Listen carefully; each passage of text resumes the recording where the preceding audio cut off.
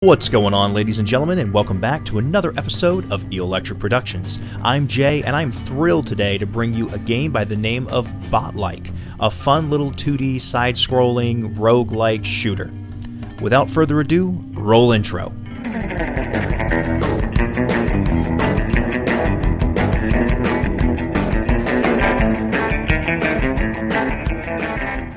Okay, so one of the reasons I'm so excited about this video is this game's actually pretty simple, and it's not a bad thing, so I can actually finally do a shorter video. I keep promising myself with all the videos I've been doing lately, this one's going to be shorter, this one's going to be shorter, it's not going to take as much editing, it's okay, it won't be that bad, and four to five hours later, I'm sitting there kicking myself for jumping in on yet another video so quickly. But this video, it's going to be a lot shorter. So let's jump right in and cut to the chase. With it being early access, all we've got is start new game and exit game, so pretty straightforward there. Okay, and one of the things that you can do here right away is, and I've I played it with the controller before, so I haven't played with mouse and keyboard yet, but I definitely want to. So you can go in here and you can purchase perks in the tuning workshop. And there's a lot of different perks to choose, and I have a feeling there's going to be even more added once the full game comes out in full access. So for now, let's move on. We'll buy some of these in a little while. And then here is a weapon shop, so you can purchase weapons with the gold that you've earned. Now right now, whenever I die, it seems like I lose all the gold that I had, so I'm not exactly sure how that works, but um, that remains to be seen. I'm sure that's coming with later iterations of the game. The game has a double jump, and you can jump off of surfaces. Jumping off of surfaces is a little bit tough, and it takes a little bit of practice. Uh, not a complaint there. That's fine. I don't mind games that challenge you. Oh boy, I'm in, I'm really in it already. Hold on a minute. Oh my god, multiple. So this is the most intense it's ever been. Uh, right after starting, I might I might actually die right here. And because I'm not playing with the controller like I had been playing on my first run through when I tried the game out, there is a dash button that I haven't figured out quite yet on the keyboard. Man, this guy's not going down. Let's see. Which one is the dash key? Oh, it's the right mouse button. Okay, so that was horrific. Uh, that was terrible. That's what not to do. But now that I've uh, gotten the controls down, I think we're going to do a little bit better here. Okay, so right mouse button is my dash. So the basic premise here is very, very simple. You're working your way through fairly linear level, and you're just taking on a variety of different enemies and gaining what looks to be like gears, which is the game's currency, trying not to take damage. Uh, it, it helps, it seems to build up a kill streak on the upper left-hand corner. These guys really are tough. So these... Whoa, yep, right there. I was going to say they kind of power up into like a ball form, and then they rocket at you at alarming speed and do a lot of damage. I managed to avoid most of the damage they dealt there, which is, which is a good thing. These little plasma shooters are more of a nuisance, really. They don't do a lot of damage, but as you can see, if they gang up on you, man, and the enemies have a fairly good jump radius, and I never have as much of a, a, jump range as I think I do, so I end up taking a lot of damage just from getting too close to the enemy. But I tell you what, that dash is utterly invaluable. Oh, I thought I got that guy. And I did not. These little guys down here that's coming at me, they've got pretty heavy shielding, but they drop a lot of gears. So let's see what he's got for offer. Now, I haven't tried the Capitalist gun yet, Old money causes pain on contact. Ice cream gun, it tastes stunning. Ha ha ha. Let's try this. You found capitalist gun, get more kills through kills. Okay, so that's a perk, because it's on the bottom right-hand corner there.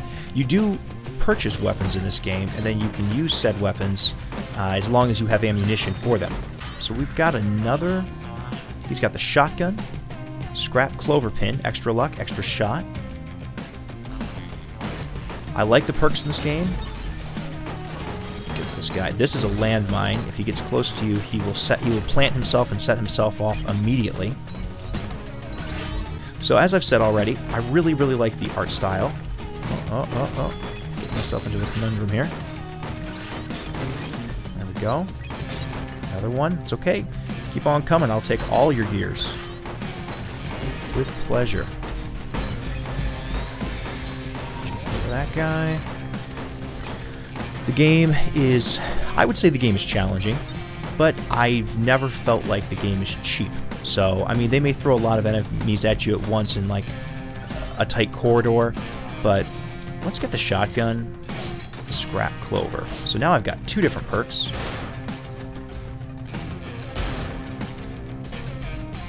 So for this shotgun, I've got 43 rounds. I'm going to go ahead and switch back to my main weapon and save the shotgun for when I get in a pickle. Something just damaged me. I'm not sure what it is. Now, I will say this. One thing that I'm not crazy about that I'd like to see improved upon is how dark the game is. Uh, yes, the glowing lanterns add a nice aesthetic to it, but I'm, I'm very likely going to die here. So let's get out the shotgun. See if I can... Yep. Man, this is actually... That right there was one of the most uh, challenging rounds that I've had yet.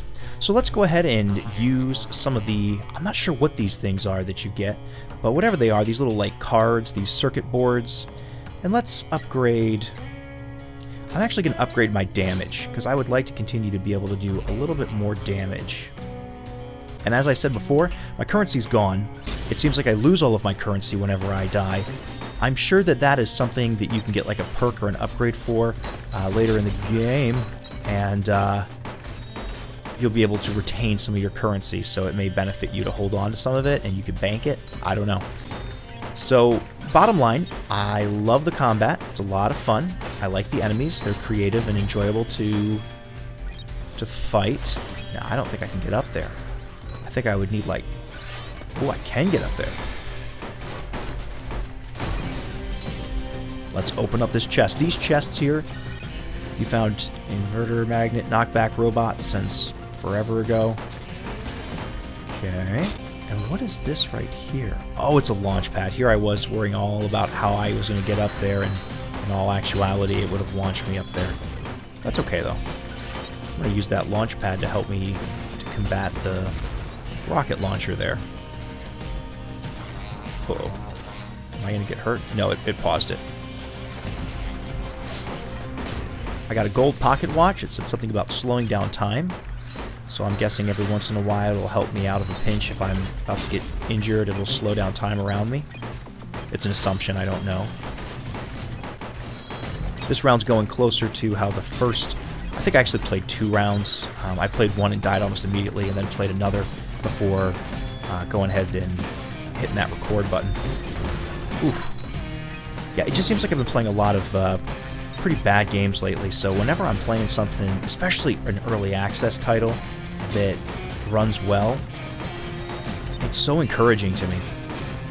And this is like the perfect early access, in my opinion. You've got a game that is got the basics down and now is ready to start putting on coat after coat of polish. And that's awesome. It's it's got the ooh, it's about to get heated up in here. One one thing that I'm not as crazy about is the jump. I'd like to see the jump tweaked. And what I mean is it, it doesn't it doesn't feel smooth. The jump doesn't feel smooth. It feels it feels off in some way.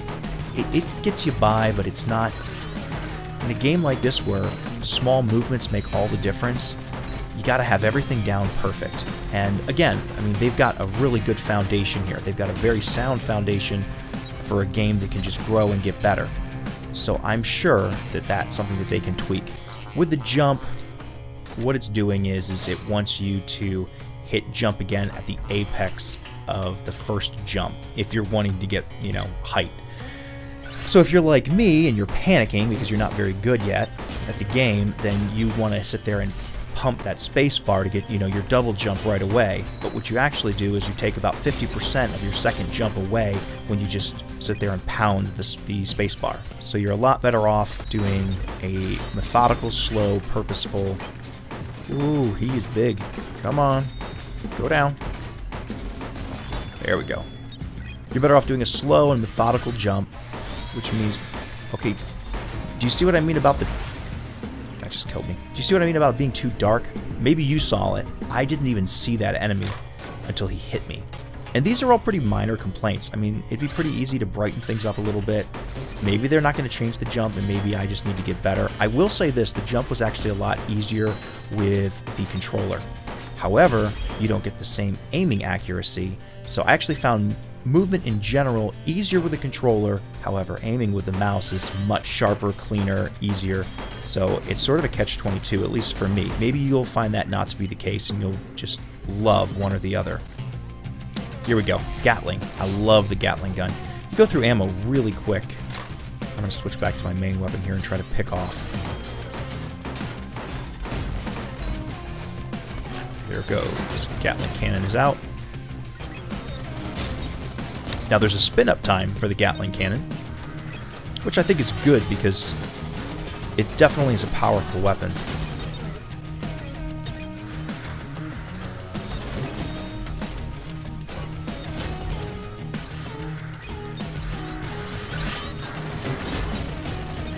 Okay.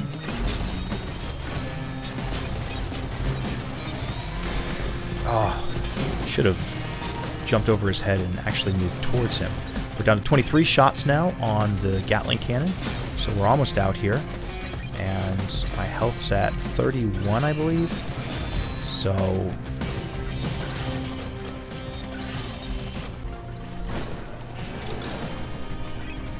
So there's a sniper rifle and they're pretty nice. I'm out of ammo.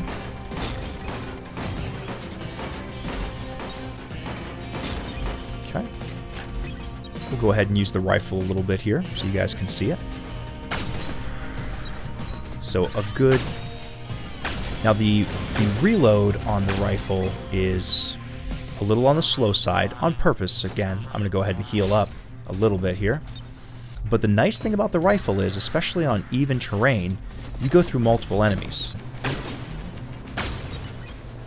One shot. There it is. There's those cards that you get that allow you to raise your perk levels.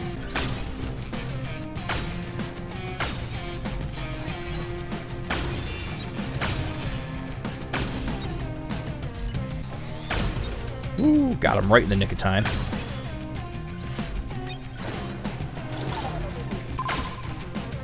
We got some scrap. Another little heal. So our health is all the way back up. This is uh, definitely my best round yet. Of course, I probably just jinxed myself. So here you go. Here's the jump. I find the jump to be a lot harder with the mouse and keyboard. There it goes. Takes a little practice there. Well, guys, that's pretty much it. I mean, in a nutshell, this is what the game has to offer right now. I don't know if there's any boss or anything that you can get to right now as of yet.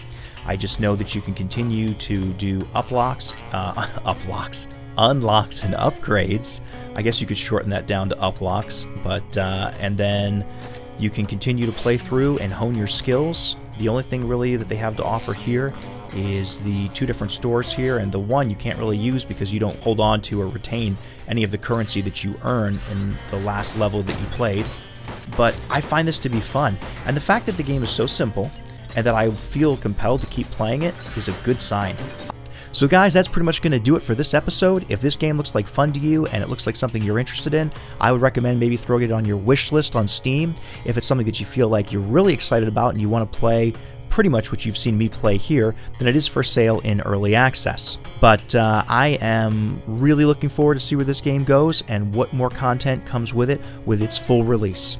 That's going to do it for me today, guys. I should have another video up this evening. I've been working on one all day today, a much, much bigger production, and that one is processing right now, and I'll post it up as soon as it's done. As always, appreciate your time, appreciate you stopping by, and you guys have a great day.